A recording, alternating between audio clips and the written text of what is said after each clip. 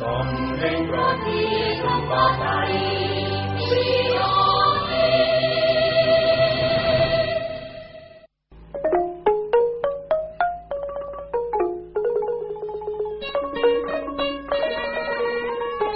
ខ្ញុំបាទណាត់សុភីបសូមជម្រាបសួរលោកអ្នកនាងដែលកំពុងស្ដាប់កម្មវិធីព័ត៌មានពេលល្ងាចរបស់ VOD ជាទីមេត្រីមេតិការព័ត៌មានសំខាន់ៗសម្រាប់ថ្ងៃពុធទី15ខែវិច្ឆិកាឆ្នាំ2017នេះរួមមាន នគរបាលថាសមត្ថកិច្ចនឹងបិទផ្លូវមួយចំនួនជុំវិញតុលាការកំពូលនៅថ្ងៃស្អែកនេះអាមេរិកថាជំនួបរវាងលោកហ៊ុនសែននិងត្រាំមិនមែនភ្លេចរឿងសិទ្ធិមនុស្សរួមទាំងព័ត៌មានសំខាន់សំខាន់មួយចំនួនទៀតដែលនឹងជម្រាបជូនលោកអ្នកនាងស្ដាប់ជាបន្តបន្ទាប់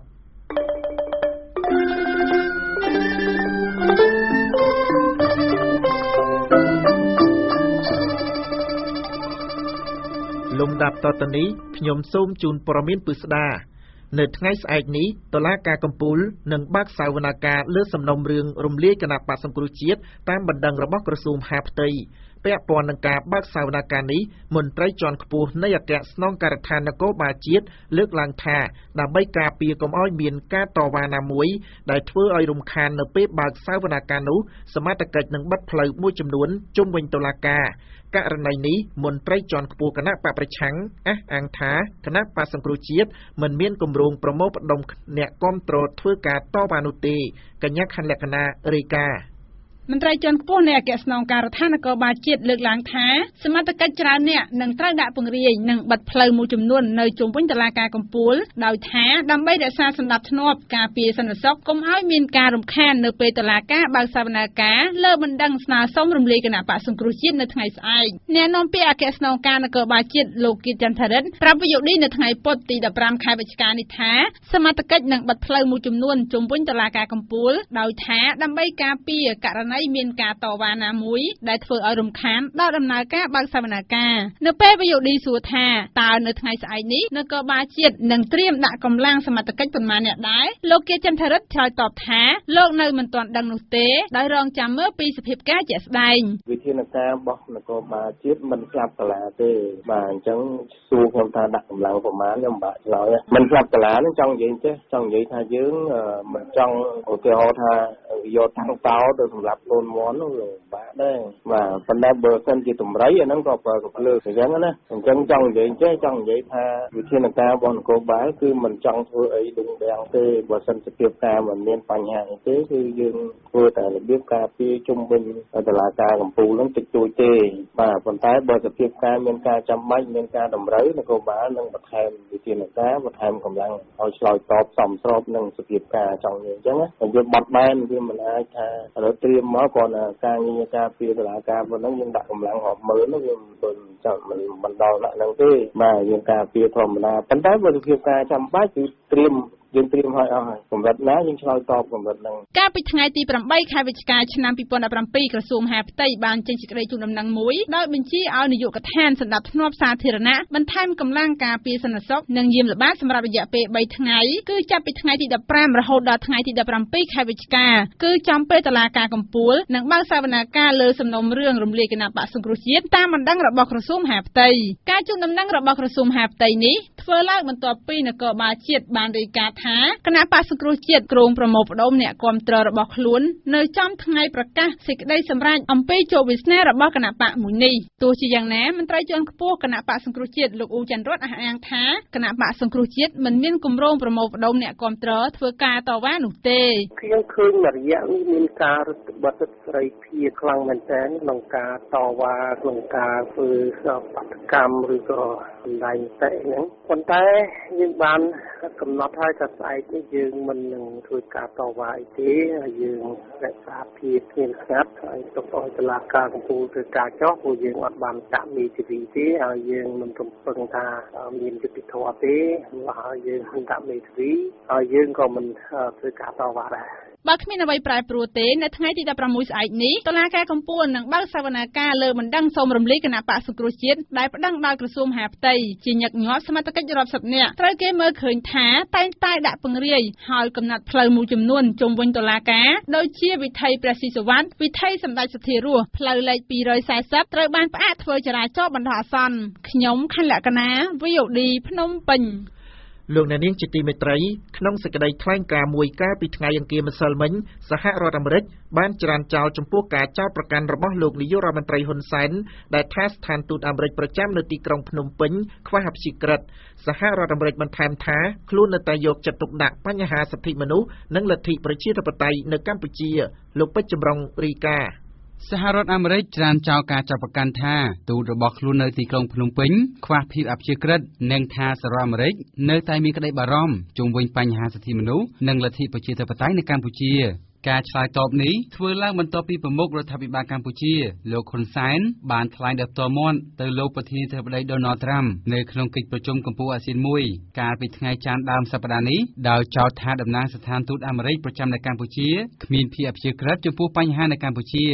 នៅក្នុងជំនួបទ្វេភាគីមួយកាលពីថ្ងៃអង្គារទី14ខែវិច្ឆិកាម្សិលមិញនៅប្រទេសហ្វីលីពីនគណៈប្រតិភូសហរដ្ឋអាមេរិកចំនួន2រូបគឺលោក Matt Pottinger ជំនួយការរងលោកប្រធានាធិបតី Donald Trump និងឧបការីរងរដ្ឋមន្ត្រីក្រសួងការបរទេសអាមេរិកទទួលបន្ទុកកិច្ចការអាស៊ីអាគ្នេយ៍លោក Patrick Murphy បានលើកយកក្តីកង្វល់ទាំងនេះទៅពិភាក្សាជាមួយរដ្ឋមន្ត្រីក្រសួងការបរទេសកម្ពុជាលោកប្រាក់សុខុននេះបើតាមសេចក្តីថ្លែងការណ៍ចេញផ្សាយនៅក្រៅជំនួបនោះ បើតាមសេចក្តីថ្លែងការណ៍នៅក្នុងជំនួបនោះគណៈប្រតិភូអាមេរិកបានបង្ហាញក្តីបារម្ភជាថ្មីអំពីចំណាត់ការរបស់រដ្ឋាភិបាលទៅលើក្រុមអង្គការសង្គមស៊ីវិលបណ្ដាញសារព័ត៌មានឯករាជ្យការគៀបសង្កត់គណៈបកប្រឆាំងនិងការឃុំខ្លួនប្រធានគណៈបកសង្គ្រោះជាតិលោកកឹមសុខា សហរដ្ឋអាមេរិកជឿជាក់ថារដ្ឋាភិបាលកម្ពុជានឹងវិយតម្លៃខ្ពស់ចំពោះកិច្ចខិតខំប្រឹងប្រែងដែលកម្ពុជាខ្លួនឯងទទួលបានក្នុងរយៈពេលមួយទសវត្សរ៍មកនេះទាំងផ្នែកលទ្ធិប្រជាធិបតេយ្យការរីកចម្រើន និងការផ្សះផ្សាជាតិជាពិសេសគឺជំនួយ ដែលសហរដ្ឋអាមេរិកផ្ដល់ឲ្យនៅក្នុងកិច្ចការទាំងនេះ បើតាមសេចក្តីថ្លែងការណ៍ដដែលភាគីសហរដ្ឋអាមេរិកពន្យល់ថាបើទោះបីជាលោក Donald Trump បានជួបសំណេះសំណាលនិងសម្ដែងការគួសមជាមួយមេដឹកនាំអាស៊ានដោយរួមទាំងលោកនាយករដ្ឋមន្ត្រីហ៊ុនសែនផងនោះពួកគេថាសកម្មភាពនោះគឺដើម្បីឲ្យគូភាគីអាចឆ្ពោះទៅមុខរួមគ្នាលើកឡើងនូវក្តីបារម្ភនិងរឹតចំណងមិត្តភាពប្រទេសទាំងពីរឲ្យប្រសើរឡើងសេចក្តីថ្លែងការណ៍នោះឲ្យដឹងបន្ថែមថា ទោះបីជាប្រធានាធិបតីដូណាល់ត្រាំបានជួបសំណេះសំណាលជាមួយមេដឹកនាំក្នុងតំបន់ដោយរួមទាំងលោកនាយករដ្ឋមន្ត្រីហ៊ុនសែននៅក្នុងកិច្ចប្រជុំកំពូលអាស៊ីប៉ាស៊ីហ្វិកនិងជំនួបអាស៊ានអាមេរិកនោះសហរដ្ឋអាមេរិកបង្ហាញក្តីសង្ឃឹមថា នោះនឹងអាចផ្ដល់ឲ្យប្រជាជាតិទាំងពីរនូវឱកាសឆ្ពោះទៅមុខបង្ហាញក្តីកង្វល់នានា និងអភិវឌ្ឍមិត្តភាពទ្វេភាគីនៅក្នុងកិច្ចប្រជុំកំពូលអាស៊ានដែលធ្វើឡើងនៅប្រទេសហ្វីលីពីនលោកហ៊ុនសែនបានប្រាប់ដោយផ្ទាល់មាត់ទៅលោកដូណាល់ត្រាំឲ្យណែនាំមន្ត្រីស្ថានទូតអាមេរិកប្រចាំនៅកម្ពុជា ដែលលោកថាមិនបានដើរតាមគោលនយោបាយថ្មីរបស់លោកដូណាល់ត្រាំទាក់ទងនឹងការមិនជឿជ្រែកកិច្ចការផ្ទៃក្នុងរបស់ប្រទេសណាមួយចៅរបស់ខ្ញុំ ត្រូវបានគេបង្ហាត់បង្រៀនឲ្យស្អប់អេដាមនេះបង្ហាញឲ្យឃើញថាស្ថានទូតអាមេរិកនៅទីក្រុងភ្នំពេញមិនត្រឹមតែមិនមានអព្យាក្រឹតចំពោះបញ្ហាប្រទេសកម្ពុជាទេมันមានអព្យាក្រឹតទាំងបេក្ខជនប្រធានាធិបតីនៅសហរដ្ឋអាមេរិកខ្លួនឯងតែម្ដងនយោបាយរបស់អាដាមកំពុងតែធ្វើការកែប្រែប៉ុន្តែស្ថានទូតនៅទីក្រុងភ្នំពេញមិនទាន់បានធ្វើការកែប្រែទេ ប៉ុន្តែនៅក្នុងសេចក្តីថ្លែងការណ៍គណៈប្រតិភូសហរដ្ឋអាមេរិកបានច្រានចោលការចាប់ប្រកាន់ទាំងនេះថាគ្មានមូលដ្ឋាន និងផ្ទុយពីស្មារតីនៃទំនាក់ទំនងមិត្តភាពប្រទេសទាំងពីរ សាស្ត្រាចារ្យវិទ្យាសាស្ត្រនយោបាយលោកសូចន្ទថាយល់ថាកម្ពុជាគួរមានទំនាក់ទំនងការបរទេសល្អជាមួយសហរដ្ឋអាមេរិកដោយថាដើម្បីកុំឲ្យខាតបង់ផលប្រយោជន៍ដែលកម្ពុជាទទួលបានពីប្រទេសមហាអំណាចដែលកាន់លទ្ធិប្រជាធិបតេយ្យមួយនេះយើងអាចរៀនសូត្រពីបទពិសោធន៍ពីអតីតកាលនៅពេលដែលយើងបញ្ហាទំនាក់ទំនងការទូតជាមួយនឹងសហរដ្ឋអាមេរិកផងដែរហើយបើយើងមើលពីអនាគត ការទូតរបស់កម្ពុជាជាមួយសហរដ្ឋអាមេរិកខ្ញុំគិតថាប្រសិនបើកម្ពុជាមិនព្រមកែតម្រង់មិនព្រមរៀបចំប្រព័ន្ធជាតបៃអភិបាលកិច្ចការគ្រប់សិទ្ធិមនុស្សកម្ពុជាល្អប្រសើរនោះទេខ្ញុំគិតថាតំណែងការទូតរវាងប្រទេសទាំងពីរនៅតែមានភាពកម្មកុសដដែលបាទដោយសារតែសហរដ្ឋអាមេរិកជាប្រទេសតំណាងឲ្យប្រជាធិបតេយ្យនៅសកលលោក ជាញឹកញាប់រដ្ឋាភិបាលរបស់លោកហ៊ុនសែនបានចោទប្រកាន់សហរដ្ឋអាមេរិកថានៅពីក្រោយគណៈបកប្រឆាំងដើម្បីផ្ដួលរំលំរដ្ឋាភិបាលស្របច្បាប់ប៉ុន្តែស្ថានទូតអាមេរិកប្រចាំនៅកម្ពុជាបានចានចោលការចោទប្រកាន់ទាំងនោះថាគ្មានមូលដ្ឋាន និងប្រឆាចពីការពិតទាំងស្រុងខ្ញុំពេជ្រចម្រុង VOD ភ្នំពេញ លោកអ្នកនាងស្ដាប់ជាទីមេត្រីអ្នកជំនាញផ្នែកប្រព័ន្ធផ្សព្វផ្សាយបានបង្ហាញទស្សនៈផ្សេងគ្នាក្រោយពីសមត្ថកិច្ចចាប់ខ្លួនអតីតបុគ្គលិកវិទ្យុអស៊ីសេរី2នាក់កាលពីថ្ងៃទី14ខែវិច្ឆិកាម្សិលមិញដោយសមត្ថកិច្ចដាក់ការសង្ស័យថាអាចជាប់ពាក់ព័ន្ធនឹងការផ្តល់ព័ត៌មានសម្ងាត់ពីកម្ពុជាទៅសហរដ្ឋអាមេរិក ប្រធានក្លឹបអ្នកកាសែតកម្ពុជាលោកប៉ែនបូណា មានប្រសាសន៍ថាការចាប់ខ្លួនអតីតបុគ្គលិកវិទ្យុអស៊ីសេរីលោកអ៊ួនឈិននិងលោកយាងសុជាមីតាទំនងជាសមត្ថកិច្ចសង្ស័យថាអាចជាប់ពាក់ព័ន្ធនឹងការផ្តល់ព័ត៌មានសម្ងាត់ពីកម្ពុជាទៅទីក្រុងវ៉ាស៊ីនតោនសហរដ្ឋអាមេរិក ករណីនេះលោកបូណាយល់ថាបើសមត្ថកិច្ចស្រាវជ្រាវឃើញថាអតីតបុគ្គលិកវិទ្យុអស៊ីសេរីអនុវត្តខុសវិជ្ជាជីវៈសារព័ត៌មានសមត្ថកិច្ចគួរតែយកច្បាប់ស្តីពីរបបសារព័ត៌មានមកអនុវត្តដោយធ្វើការអប់រំណែនាំនិងដោះលែងពួកគេឲ្យមានសេរីភាពវិញយើងមានច្បាប់ស្តីពីរបបសារព័ត៌មានជាគោលតាក់ទងទៅនឹងការអនុវត្តនឹងហើយបើសិនជាគាត់ខុសក្នុង ការអនុវត្តតាក់ទងទៅនឹងវិជ្ជាជីវៈសារព័ត៌មានហ្នឹងគួរតែយកច្បាប់ស្តីពីរបបសារព័ត៌មានហ្នឹងមកវិនិច្ឆ័យបើសិនជាអត់មានខុសតាងអីជាធំដុំអាចថាដោះលែងគាត់ទៅហើយពមៀនគាត់ឲ្យគាត់សន្យាអីឈប់អីចឹងណាកុំឲ្យមានការដាក់ទោសទណ្ឌអីធំដុំអីខ្ញុំអត់ចង់ឃើញចឹងដែរណា ប្រធានគម្រោងសេចក្តីព្រាងច្បាប់ស្តីពីសិទ្ធិទទួលបានព័ត៌មានពីអង្គការ UNESCO លោកឆៃសផលមានប្រសាសន៍ថាបើអតីតបុគ្គលិកវិទ្យុអាស៊ីសេរីបង្កើតស្ទីឌីយ៉ូដើម្បីផលិតបទចម្រៀងឬបញ្ជូនព័ត៌មាននានាដែលមិនមែនជាព័ត៌មានសម្ងាត់របស់រដ្ឋលោកយល់ថាមិនខុសច្បាប់នោះទេ ទោះជាយ៉ាងណាលោកបានផ្ដល់ជាអនុសាសន៍ថាដើម្បីកុំឲ្យមានការសង្ស័យដោយករណីអតីតបុគ្គលិកវិទ្យុអស៊ីសេរីអ្នកសារព័ត៌មានទាំងអស់ត្រូវចុះបញ្ជីនៅក្រសួងព័ត៌មានឬជូនដំណឹងពីគោលបំណងដែលខ្លួនធ្វើ ដោយថាអាចជួយបានមួយផ្នែកនៅពេលមានបញ្ហាប្រឈមកើតឡើង។ ប្រសិនណាបើយើងជាអ្នកសារព័ត៌មានពិតប្រាកដយើងប្រាប់គេតែម្ដងគឺដំណឹងទោះបីយើងមិនមែនអឺមិនទាន់បានចុះបញ្ជីក៏ដោយក៏យើងត្រូវជូនដំណឹងទៅក្រសួងព័ត៌មានដែរសម្រាប់ខ្ញុំខ្ញុំគិតថាអញ្ចឹងគឺប្រាប់ថាយើងឈ្មោះអីយើងធ្វើការងារផ្នែកអីប្រមូលព័ត៌មាននៅក្នុងអង្គភាពណាយើងជូនដំណឹងទៅក្រសួងព័ត៌មានទៅទោះបីក្រសួងព័ត៌មានលោកឲ្យអាជ្ញាប័ណ្ណឬក៏មកអាជ្ញាប័ណ្ណក៏យើងបានជូនដំណឹងទៅគាត់ដែរនេះក៏ជាការមួយសម្រាប់ការពារខ្លួនយើងដែរហើយប្រសិនណាបើយើងធ្វើកិច្ចការងារមួយដោយលួចលាក់ក្នុងនាមជាសារព័ត៌មានដូចខ្ញុំបានលើកអញ្ចឹងគឺអ្នកសារព័ត៌មានមិនអាចធ្វើការដូចជាពួកភ្នាក់ងារសម្ងាត់ឬក៏ពួកណាចារកម្មធ្វើការងារស្ងាត់ស្ងាត់នោះទេចំណែកអ្នកនាំពាក្យក្រសួងព័ត៌មានលោកអុកកឹមសេងមានប្រសាសន៍ថាក្រសួងមិនចាប់អារម្មណ៍នឹងការខាត់ខ្លួនអតីតបុគ្គលិកវិទ្យុអស៊ីសេរីនោះទេដោយថាទុកឲ្យសមត្ថកិច្ចធ្វើកិច្ចការនេះខ្ញុំពុំមានអត្ថាធិប្បាយអីទេព្រោះអីស្ថិតនៅលើ សមត្ថកិច្ចនគរបាលហើយទីពីរខ្ញុំមិនដឹងថាគាត់បានធ្វើខ្លះទេវាអញ្ចឹង ហើយខ្ញុំមិនដឹងគាត់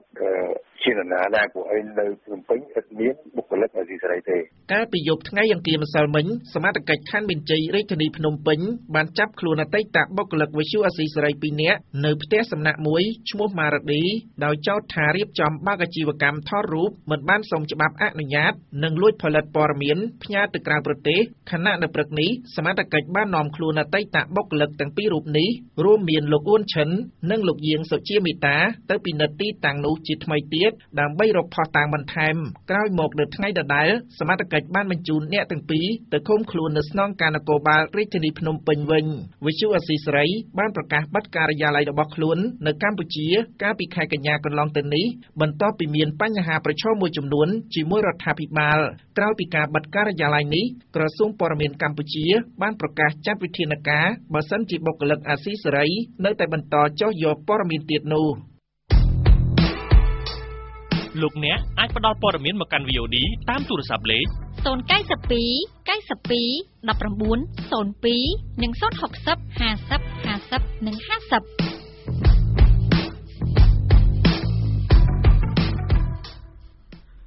លោកអ្នកនាងជាទីមេត្រីនៅថ្ងៃប្រហ័សនេះតុលាការកំពូលនឹងបើកសវនាការលើបណ្ដឹងរំលាយគណៈបក្សសង្គ្រោះជាតិអង្គការឃ្លាំមើលសិទ្ធិមនុស្សអន្តរជាតិមួយស្នើឲ្យតុលាការកំពូលបង្ហាញឯករាជ្យភាពនិងអំណាចរបស់ខ្លួនដោយកុំឲ្យរំលាយគណៈបកប្រឆាំងតាមការចង់បានរបស់បកកណ្ដាលអំណាចលោកហ៊ុនស្រីវត្តរាយការណ៍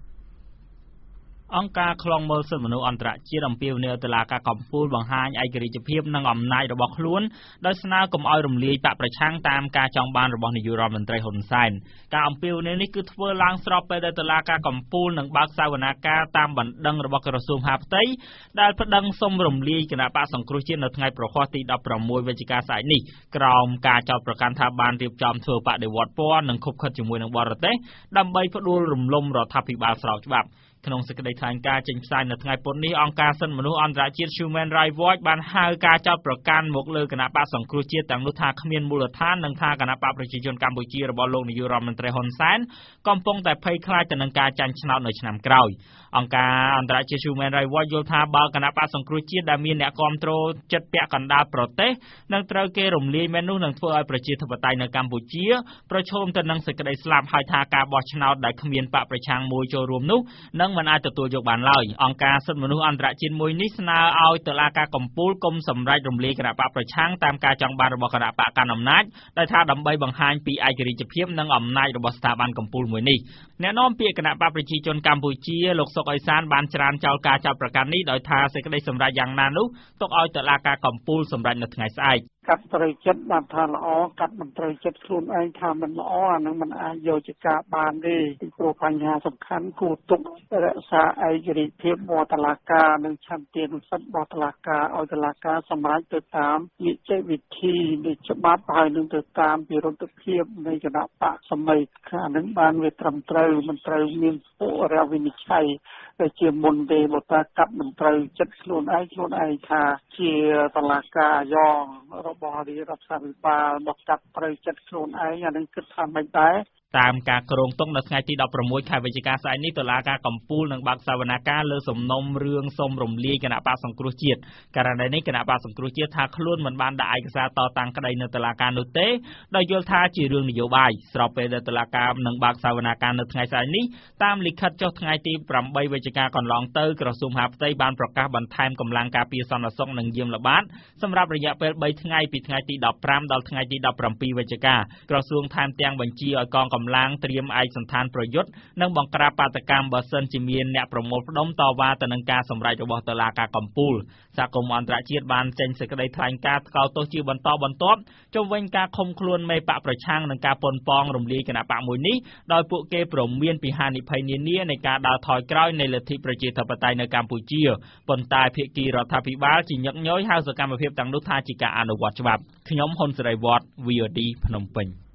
លោកអ្នកនាងជាទីមេត្រី នៅថ្ងៃនេះសមត្ថកិច្ចខេត្តបាត់ដំបងបានបញ្ជូនក្រុមប្រឹក្សាឃុំគណៈបក្សសង្គ្រោះជាតិម្នាក់នៅស្រុកសំឡូតទៅតុលាការដោយសង្ស័យថាជាប់ពាក់ព័ន្ធនឹងការរក្សាអាវុធខុសច្បាប់ប៉ុន្តែមន្ត្រីបកប្រឆាំងថាការចាប់បញ្ជូនសមាជិករបស់ខ្លួនទៅតុលាការនេះជាការគំរាមកំហែងនិងបំផិតបំភ័យក្នុងចេតនានយោបាយលោកខុតសុគន្ធរីកា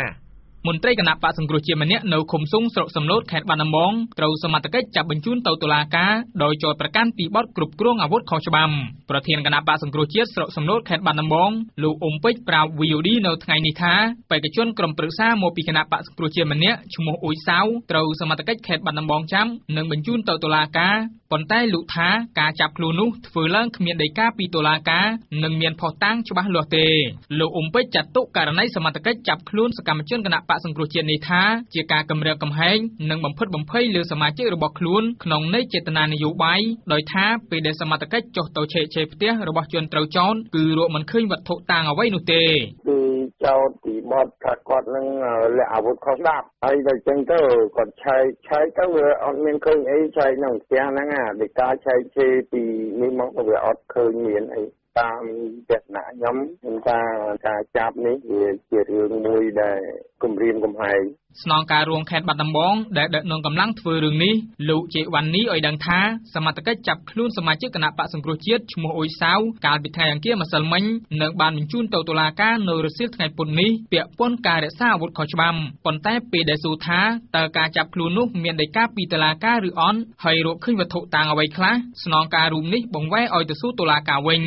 អ្នកនាំពាក្យសាលាដំបងខេត្តបាត់ដំបងលោកសេងផានិតនិយាយថារាល់ការឆែកឆេរនិងចាប់ខ្លួនគឺមាននៃការត្រឹមត្រូវហើយលោកអះអាងថាសមត្ថកិច្ចឆែកឆេររកឃើញកំភ្លើងអាការមួយដើមប៉ុន្តែតុលាការមិនទាន់សម្រេចចាត់ប្រកាន់ថាយ៉ាងណានោះទេដោយរងចាំការស្រាវជ្រាវបន្តទៀតឃើញអាវុធមានអាការមានអីដែរណាប៉ុន្តែយើងអត់ទាន់មានការចាប់ប្រកាន់ទេបងយើងនៅថាសួរគាត់ឡើយតើវាមានការចាត់តងអីខ្លះទៀតយើងបន្តក្នុងការស៊ើបអង្កេតរបស់យើងទៀតអញ្ចឹងណាយើងអត់ទាន់សម្រេចក្នុងការចាប់ប្រកាន់ឬមិនចាប់ប្រកាន់ទេគោរំលឹកថាគណៈពេលស្ថានភាពនយោបាយកម្ពុជាគេមើលឃើញថាកំពុងមានភាពតានតឹងនិងស្របពេលមានការប្រមានជាច្រើនដងពីលោកនាយករដ្ឋមន្ត្រីហ៊ុនសែនគេសង្កេតឃើញមន្ត្រីជាន់ខ្ពស់គណៈបកប្រឆាំងមួយចំនួនបានភៀសខ្លួនទៅនៅក្រៅប្រទេសនិងក្រុមប្រឹក្សាឃុំសង្កាត់មួយចំនួនរបស់គណៈបកនេះក៏ត្រូវបានសមត្ថកិច្ចចាប់ខ្លួនជាបន្តបន្ទាប់ដែរដោយចោទថាជាប់ពាក់ព័ន្ធនឹងបទល្មើសផ្សេងៗខ្ញុំខុសសគុណ VOD ភ្នំពេញ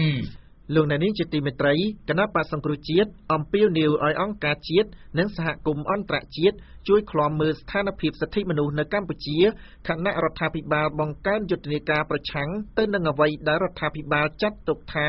បដិវត្តពណ៌និងឧបាយកលមានបំណងផ្ដួលរំលំរដ្ឋាភិបាលស្របច្បាប់ក្នុងសេចក្តីថ្លែងការណ៍ ចុះកាលពីថ្ងៃទី14ខែវិច្ឆិកាឆ្នាំ2017គណៈបក្សសង្គ្រោះជាតិបានបង្ហាញការភ្ញាក់ផ្អើលយ៉ាងខ្លាំងចំពោះរដ្ឋាភិបាល ដែលរៀបចំកងកម្លាំងប្រដាប់អាវុធចម្រុះដើម្បីឃ្លាំមើលស្ថានភាពនៅតាមគ្រប់ស្នាក់ការស្រុកនិងខេត្តរបស់គណៈបក្សសង្គ្រោះជាតិគណៈគណៈបកប្រឆាំងដ៏ធំមួយនេះប្រឈមនឹងការរំលាយដោយអំណាចតុលាការកំពូល នៅថ្ងៃទី16ខែវិច្ឆិកា បើតាមសេចក្តីថ្លែងការណ៍ដដែលគណៈបក្សសង្គ្រោះជាតិចាត់ទុកការរៀបចំកងកម្លាំងរបស់រដ្ឋាភិបាលនេះថា ជាចេតនាបំផិតបំភ័យនិងបំបាក់ស្មារតីមកលើប្រជាពលរដ្ឋរដ្ឋមន្ត្រីក្រសួងមហាផ្ទៃលោកសខេងកាលពីថ្ងៃទី13ខែវិច្ឆិកាបានបញ្ជាទៅអាជ្ញាធរពាក់ព័ន្ធឲ្យចាត់វិធានការនានាដើម្បីទប់ស្កាត់នៅអ្វីដែលលោកហៅថាឧបាយកលមានបំណងផ្ដួលរំលំរដ្ឋាភិបាល អង្គការ Global Witness និងអង្គការ Human Rights Watch កាលពីដើមខែតុលាឆ្នាំ2017បានចេញសេចក្តីថ្លែងការណ៍ថ្កោលទោសរដ្ឋាភិបាលលោកហ៊ុនសែនបន្ទាប់ពីមានការចាប់ខ្លួនមេដឹកនាំគណៈបក្សសង្គ្រោះជាតិលោកកាន់សុខានិងការប៉ុនប៉ងរំលាយគណៈបកប្រឆាំងដ៏ធំមួយនេះព្រមទាំងការបង្ក្រាបទៅលើអង្គការសង្គមស៊ីវិលនិងការបិទប្រព័ន្ធផ្សព្វផ្សាយដែលរិះគន់រដ្ឋាភិបាលទោះជាយ៉ាងណាលោកនាយករដ្ឋមន្ត្រីហ៊ុនសែនមាន ព្រមានបានព្រមានសហគមន៍អន្តរជាតិឲ្យបញ្ឈប់ការជ្រៀតជ្រែកកិច្ចការផ្ទៃក្នុងរបស់កម្ពុជាដោយលោកថាអ្វីដែលរដ្ឋាភិបាលធ្វើគឺជាការអនុវត្តច្បាប់ដើម្បីការពារសន្តិភាពលោកអ្នកនាងស្ដាប់ជាទីមេត្រី យ៉ាងហោចណាស់មនុស្ស2នាក់បានស្លាប់ភ្លាមភ្លាមនៅនឹងកន្លែង និងមនុស្ស8នាក់ទៀតរងរបួសដែលក្នុងនោះមានជនបរទេស2នាក់ផងដែរនៅក្នុងករណីគ្រោះថ្នាក់ចរាចរណ៍មួយ នៅព្រឹកថ្ងៃទី15ខែវិច្ឆិកាឆ្នាំ2017នៅខេត្តសៀមរាប អធិការរងទទួលបន្ទុកសម្ដាប់ធ្នាប់ចរាចរណ៍ស្រុកប្រាសាទបាគងលោកប៉ោះចន្ទថាមានប្រសាសន៍ថាឧបតវត្តឧបតវហេតុនេះបានកើតឡើងនៅវេលាម៉ោង6:10នាទីព្រឹកស្ថិតនៅតាមបណ្ដោយផ្លូវជាតិលេខ6ជិតសាលាស្រុកប្រាសាទបាគងខេត្តសៀមរាបដែលលោកថាបណ្ដាលឲ្យអ្នកបើករថយន្ត2នាក់បានស្លាប់ភ្លាមៗនិងមនុស្ស8នាក់ទៀតរងរបួសធ្ងន់និងស្រាលក្នុងនោះមានជនជាតិបារាំង2នាក់ សមត្ថកិច្ចបានឲ្យដឹងទៀតថារថយន្តក្រុងនោះ ជារបស់ក្រុមហ៊ុនវរៈប៊ុនថាំងបានដឹកនាំបានដឹកអ្នកដំណើរទាំងជនជាតិខ្មែរនិងបរទេសចំនួន38នាក់មកពីក្រុងព្រះសីហនុឆ្ពោះទៅខេត្តសៀមរាបតាមបណ្ដោយផ្លូវជាតិលេខ6ប៉ុន្តែដល់ជិតចំណុចខាងកើតសាលាស្រុកប្រាសាទបាគងខេត្តសៀមរាបបណ្ដាលឲ្យជួបគ្រោះថ្នាក់តែម្ដងខណៈដល់ផ្លូវកោងអ្នកបើកបររថយន្តទាំងពីរមិនប្រកាន់ស្ដាំរៀងៗខ្លួន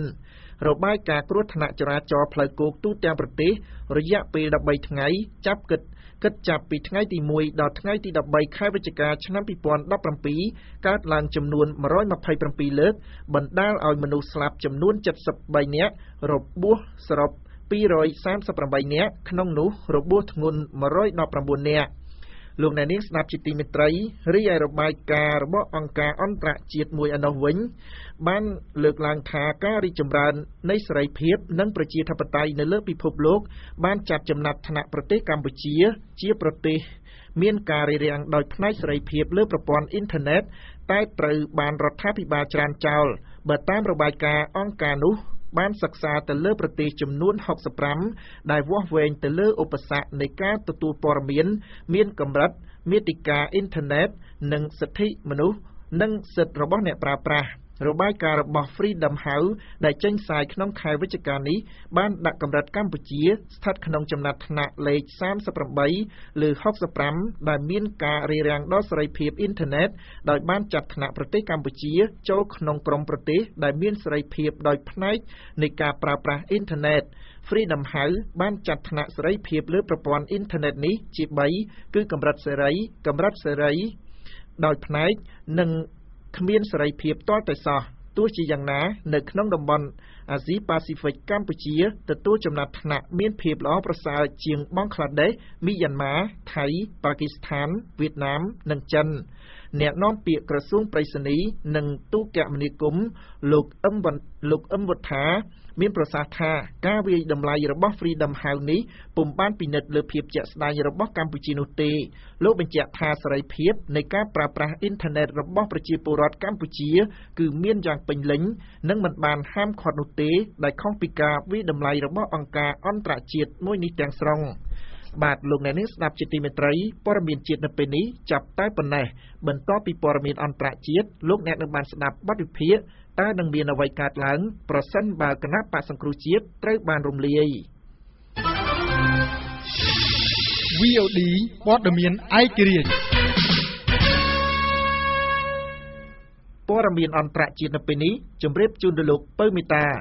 ព្រឹត្តិការណ៍ព័ត៌មានអន្តរជាតិនៅពេលនេះផ្ដោតសំខាន់ទៅលើការដាក់សម្ពាធទៅលើកូរ៉េខាងជើងកាន់តែខ្លាំងឡើង បន្ទាប់ពីដំណើរទស្សនកិច្ចរបស់លោកត្រាំនៅអាស៊ីប្រទេសកូរ៉េខាងជើងជាប្រទេសដឹកនាំដោយគ្រួសារត្រកូលគីម3ជំនាន់អស់រយៈពេល7ទសវត្សរ៍មកនេះបច្ចុប្បន្នរដ្ឋកូរ៉េខាងជើង កំពុងតែស្ថិតនៅក្រោមការដឹកនាំរបស់លោកគីមចុងអ៊ុនជាមនុស្សជំនាន់ទី3នៃត្រកូលគីមហើយ មានការប្រជុំមុខដាក់គ្នាជាខ្លាំងជាមួយសហរដ្ឋអាមេរិក និងសម្ព័ន្ធមិត្តផ្សេងផ្សេងទៀតរបស់អាមេរិក រួមទាំងកូរ៉េខាងត្បូង និងប្រទេសជប៉ុនជាដើម ជាញឹកញាប់មេដឹកនាំវ័យក្មេងរបស់កូរ៉េខាងជើង តែងតែប្រើពាក្យសម្ដីវាយប្រហារអាមេរិក និងកូរ៉េខាងត្បូង ហើយប្រមានប្រើអាវុធនុយក្លេអ៊ែររបស់ខ្លួនបាញ់គំទេច ប្រទេសទាំងនេះចោលទៀតផង រហូតដល់ខែវិច្ឆិកាឆ្នាំ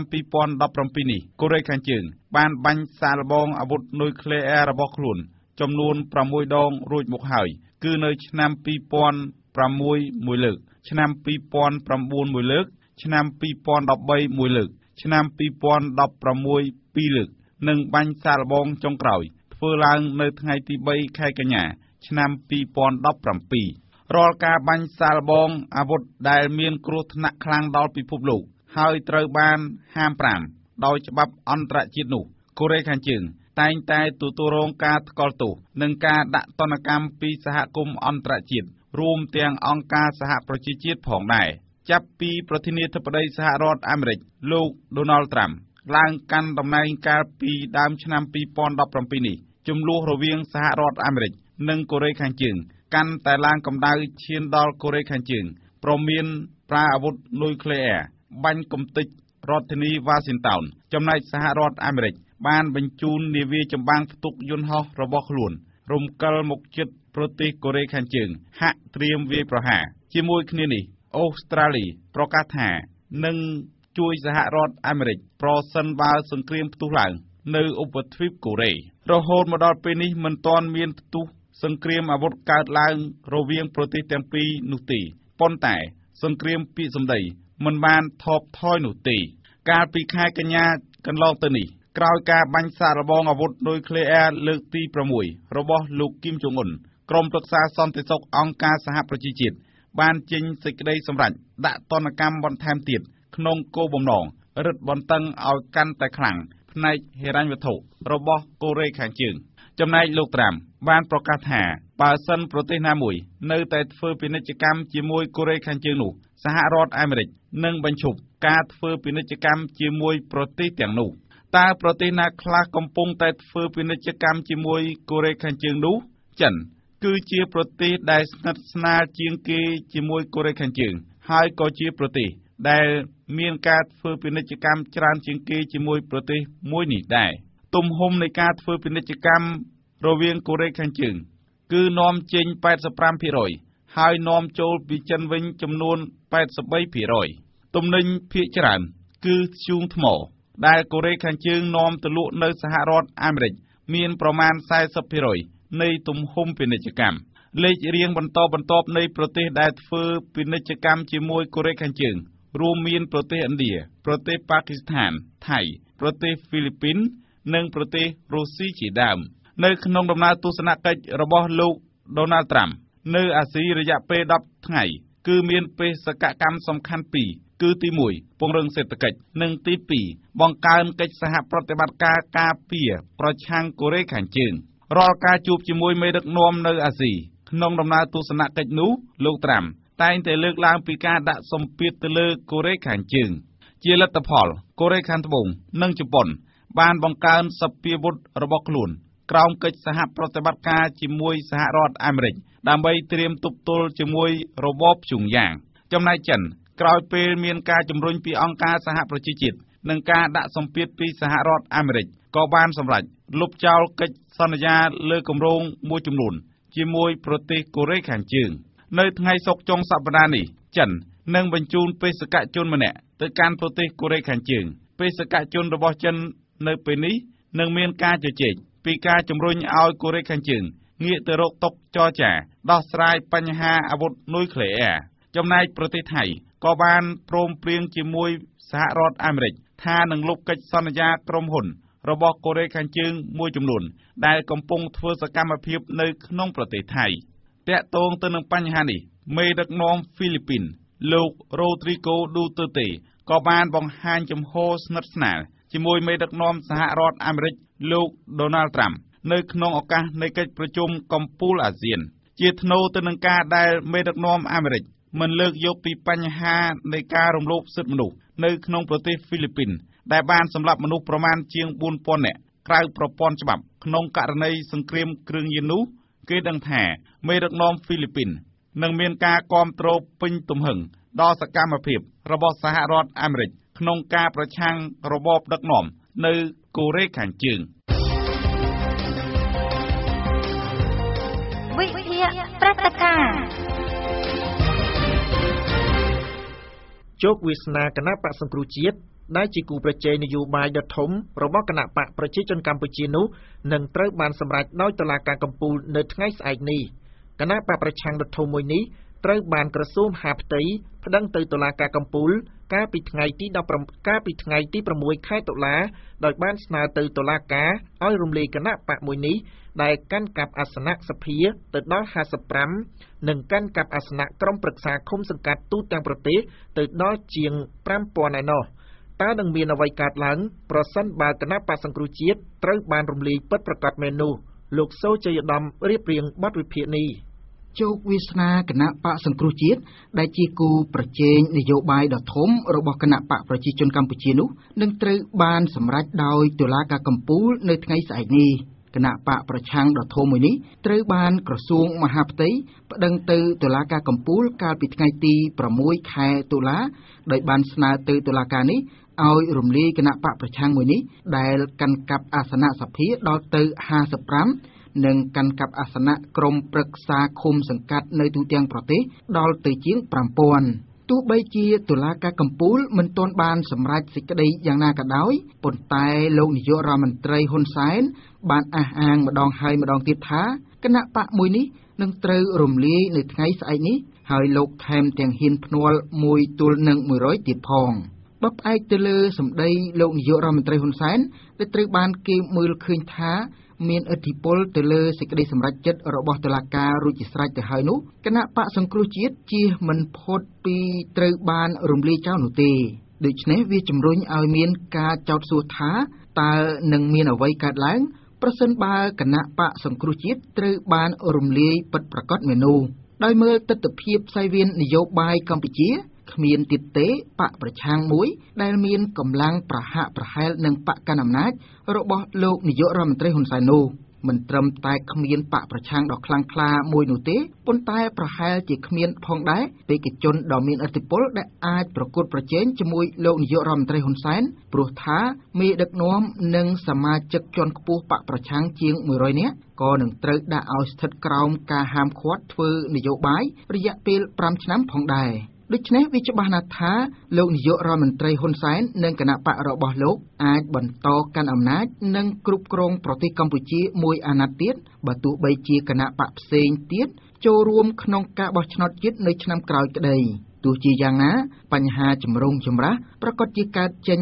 ពីលទ្ធផលនៃសេចក្តីសម្រេចរបស់តុលាការកំពូលនៅថ្ងៃស្អែកនេះ។ បញ្ហាចម្រូងចម្រាសដំបូងនោះគឺការទទួលស្គាល់ដំណើរការនិងលទ្ធផលនៃការបោះឆ្នោតជាតិនៅឆ្នាំក្រោយនេះដែលក៏នឹងប៉ះពាល់ផងដែរដល់ភាពស្របច្បាប់នៃរដ្ឋាភិបាលដែលកើតចេញពីការបោះឆ្នោតនោះអាមេរិកសហភាពអឺរ៉ុបនិងបណ្ដាប្រទេសប្រជាធិបតេយ្យដទៃទៀតលើកលែងតែប្រទេសចិនកុម្មុយនីសចេញបានប្រមានរួចស្រេចហើយថា ពួកគេនឹងមិនទទួលស្គាល់លទ្ធផលនៃការបោះឆ្នោត និងភាពស្របច្បាប់របស់រដ្ឋាភិបាលថ្មីនោះទេ ប្រសិនបើបកប្រឆាំងត្រូវបានរំលាយមែននោះប៉ុន្តែត្រង់ចំណុចនេះលោកនាយករដ្ឋមន្ត្រីហ៊ុនសែនបានប្រកាសថាមិនថានរណាទទួលស្គាល់ឬមិនទទួលស្គាល់នោះទេ លោកមិនខ្វល់នោះឡើយ។ ប្រសិនបើលោកនាយករដ្ឋមន្ត្រីហ៊ុនសែនពិតជាមិនខ្វល់ទៅនឹងមតិអន្តរជាតិមែននោះនោះវាឆ្លុះបញ្ចាំងឲ្យឃើញកាន់តែច្បាស់ថា កម្ពុជាបានឃ្លាតចាកពីគន្លងប្រជាធិបតេយ្យទាំងស្រុង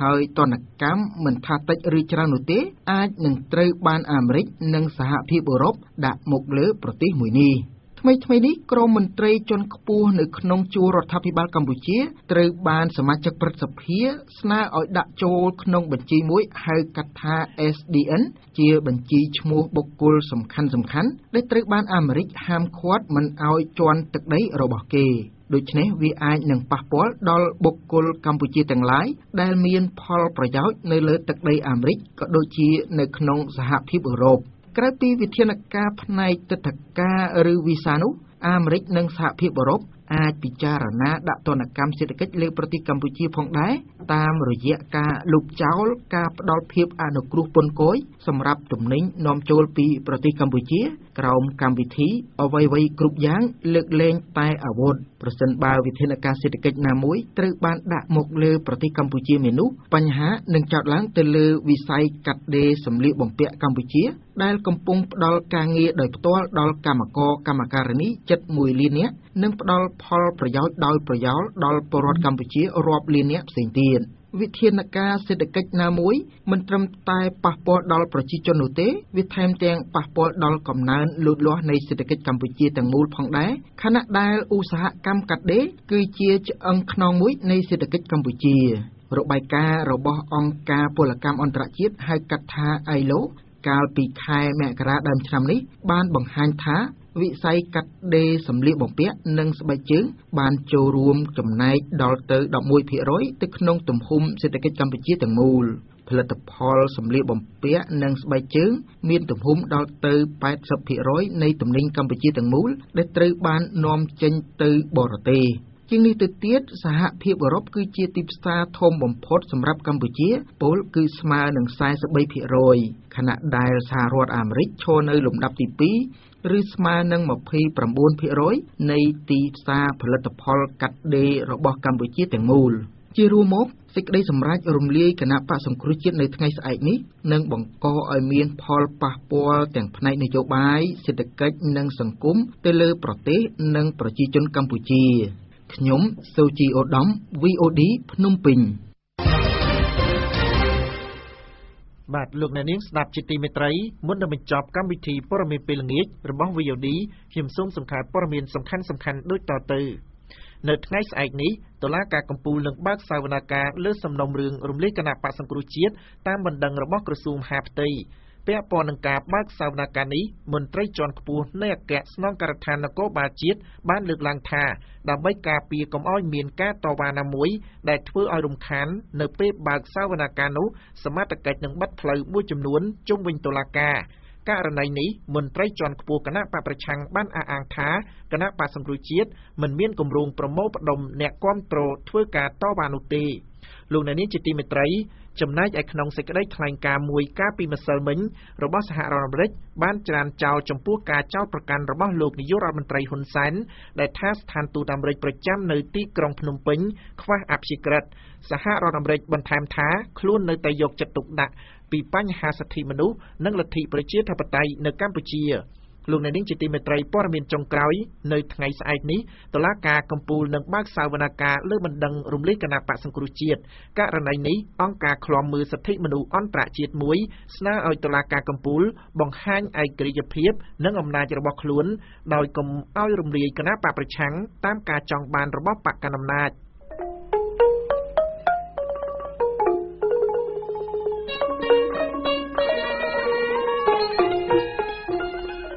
លោកអ្នកនាងស្ដាប់ជាទីមេត្រីកម្មវិធីព័ត៌មានពេលល្ងាចរបស់ VOD